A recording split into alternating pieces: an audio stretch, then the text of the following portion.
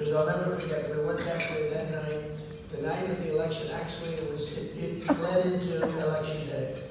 Uh, We heard we were doing well, and Hillary, President Obama, and Michelle Obama decided to go to Michigan that night.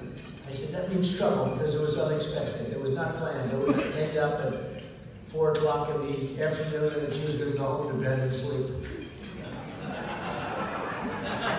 She was exhausted. See, I was just walking up and downstairs to get it in. You know, I only go through compactor rooms now. I haven't seen a lobby in years.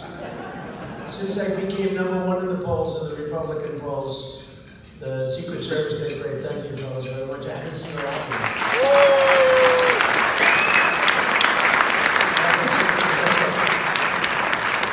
Ron was so great, and, and when we won, this was such a big, uh, this was such a big event.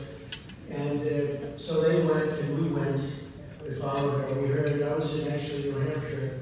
I made my final speech at six o'clock and I heard they were leaving, I said, well, let's try and get there. So we rerouted the whole place, that's a big deal. And we went to a great place, remember the incredible stadium, we went to a great place in Michigan. I got there twelve thirty in the